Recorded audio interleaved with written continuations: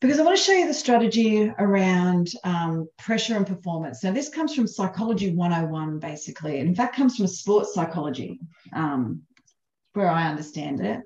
It's, it's pretty old, clearly, but what it refers to, uh, and it's still used today, it's such a great graphic. If the more pressure I have, there's a certain, sorry, there's a certain amount of pressure that I have that will lead to optimal performance. Yeah, so on the different axes there, we can see pressure and we can see performance. Sometimes you'll see it written as stress or arousal on that axis, and performance always on the Y. Down the bottom on the left hand side, where it says low, no, I'm asleep, I'm dead, I'm unconscious. Yeah, no, no pressure, no activity, no stress, no performance, zero. So every one of us needs a little bit of pressure, a little bit of stress. Yeah for our performance to start to go up. But there is this sort of optimal space that we that we operate in. You can see it you guys can read it on there.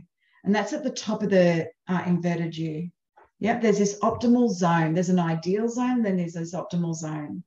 But as you can see the more pressure we get our performance can start to deteriorate. Yeah to the point that if we stay in that for long periods of time we can we can end up in a space of burnout. Um, I think of footy. How topical, actually. Rugby. I'm a Newcastle girl, so yeah, New South Wales, go the Blues. For those of us that are watching it tonight.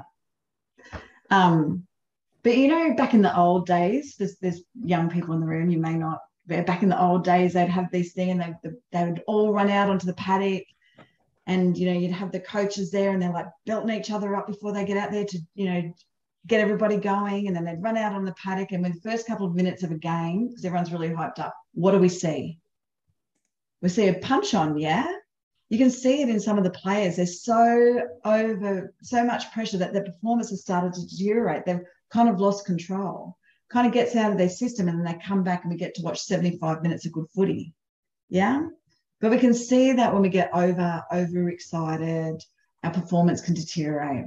We can see that when we get too much pressure and we don't know how to regulate that, don't know how to bring that back, have too much pressure. So if I if I said to you guys right now on the pressure scale, using those as anchors, where would you put yourself on that on that today at this moment in time? Where would you where would you put yourself?